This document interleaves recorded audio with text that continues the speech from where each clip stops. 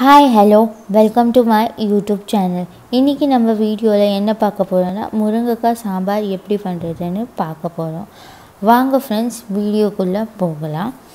இதுக்கு தேவையான பொருட்கள். நான் ஆல்ரெடி ரெண்டு கப்பு தோரம் பருப்பு வந்து வேக வச்சு எடுத்து வச்சுருக்கேன். அது கூட ரெண்டு பெரிய தக்காளி ஆட் பண்ணியிருக்கேன் ஒரு அரை ஸ்பூன் அளவு எண்ணெய் விட்டு இது எல்லாத்தையும் நான் மசித்து எடுத்து வச்சுருக்கேன் ஃப்ரெண்ட்ஸ்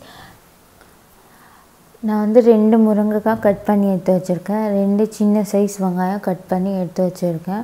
ஒரு பாத்திரத்தில் ரெண்டு கப்பு தண்ணி எடுத்து வச்சுருக்கேன். அதில் வந்து நான் கட் பண்ண வச்ச ஆனியனு அண்ட் முருங்கைக்காய். இது ரெண்டுத்தையும் வந்து இதில் ஆட் பண்ணிக்கிறேன். இது ரெண்டுத்தையும் வந்து ஆட் பண்ணதுக்கப்புறம் நான் ரெண்டு ஸ்பூன் மிளகாத்தூளும் இதில் ஆட் பண்ணிக்கிறேன். இது வந்து ஹோம்மேடு மிளகாத்தூள் ஃப்ரெண்ட்ஸ் அப்புறம் இதுக்கு வந்து தேவையான அளவுக்கு தேவையான அளவுக்கு வந்து சால்ட்டும் இதில் ஆட் பண்ணுறேன்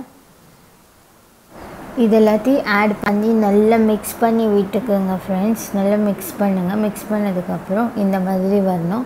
இந்த மாதிரி மிக்ஸ் பண்ணதுக்கப்புறம் அதுக்கப்புறம் காய் வந்து வேகட்டும். மூடி வச்சுடுங்க. நான் அரை லெமன் சைஸ் அளவுக்கு புளி எடுத்திருக்கேன். புளி வந்து ஊற வச்சிடுங்க. நல்லா ஊறட்டும். பார்க்கலாம் ஃப்ரெண்ட்ஸ் காய் வெந்திருக்கான்னு ஓப்பன் பண்ணி செக் பண்ணி பார்க்கலாம். காய் நல்லா வெந்திருக்கான்னு மிக்ஸ் பண்ணி பாருங்கள் காய் ஓரளவுக்கு நல்லாவே வெந்திருக்கு. நான் வந்து ஆல்ரெடி மசிச்சு வச்ச அந்த பருப்பு தண்ணியை வந்து இதில் ஆட் பண்ணிக்கிறேன். ஆட் பண்ணதுக்கப்புறம் நல்லா மிக்ஸ் பண்ணி விட்டுக்கோங்க ஃப்ரெண்ட்ஸ் நல்லா மிக்ஸ் பண்ணுங்கள் எல்லாம் நல்லா மிக்ஸ் ஆகணும். மிக்ஸ் ஆனதுக்கப்புறம் இது வந்து கொஞ்சம் நல்லாவே கொதிக்கிட்டோம்.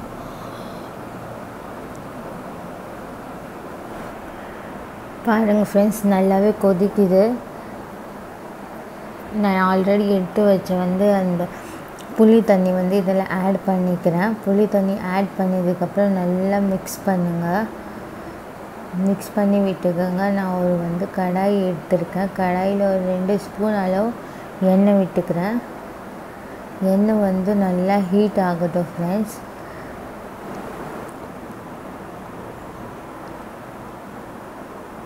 பாருங்கள் ஃப்ரெண்ட்ஸ் எண்ணெய் வந்து ஹீட் ஆகுது. ஹீட் ஆனதுக்கப்புறம் நான் கொஞ்சமாக இதில் கடுகு சேர்த்துக்கிறேன். வெயிட் பண்ணுங்கள் கடுகு நல்லா பொரிஞ்சு வரட்டும்.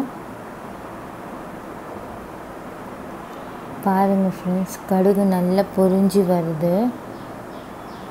கடுகு பொரிஞ்சு வந்த பிறகு கருவேப்பிலையும் கொத்தமல்லியும் நான் ஆட் பண்ணிக்கிறேன் இதில்.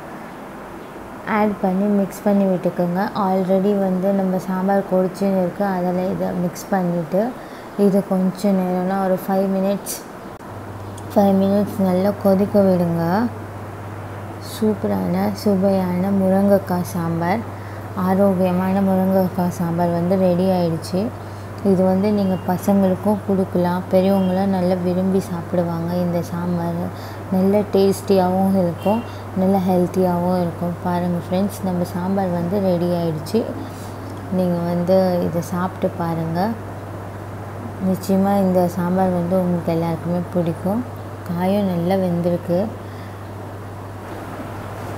கேஸ் ஆஃப் பண்ணிவிட்டு கொஞ்சமாக கொத்தமல்லி எடுத்துக்கோங்க. கொஞ்சமாக கொத்தமல்லி எடுத்து மேலே அப்படியே தூவி விடுங்க ஃப்ரெண்ட்ஸ் தூவி விட்டுட்டு மூடி வச்சிடுங்க.